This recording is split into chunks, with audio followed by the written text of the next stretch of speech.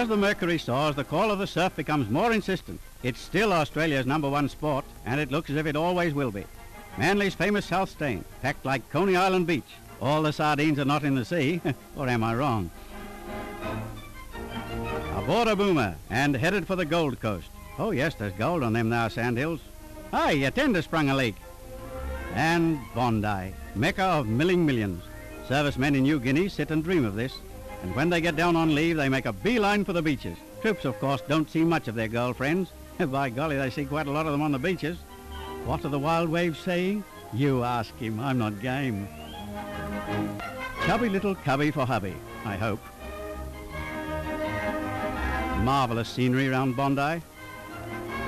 Ah, a wolf in ship's clothing.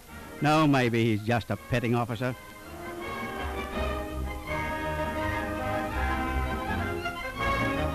What you need for this business is balance. These coves could even balance the federal budget. And that's going to take some doing for the next 20 years. Surfboard riding is simple as ABC, provided you've had a good education. But they're going to be restricted.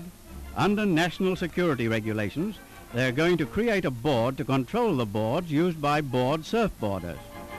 Dinkum,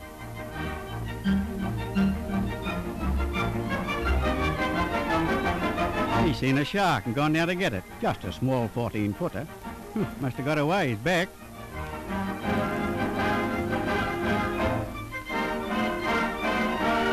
Terrible thing to have the skids put under you. But let's away and find some big waves. War communique. A naval engagement from which two of our craft won't return. They're about to be torpedoed, bombed, mined, in fact dumped. Surprising. Well, the other one can't get out of it, that's a certainty. They're gone. What do you know about that? In that boat's a butcher, a grocer, and the milkman, which of course makes them the Merchant Navy. You know, surfboating would be great sport if the Allied Works Council would lend a bulldozer to straighten out the sea. When it comes to waves, we'll take ours Marcel, not permanent.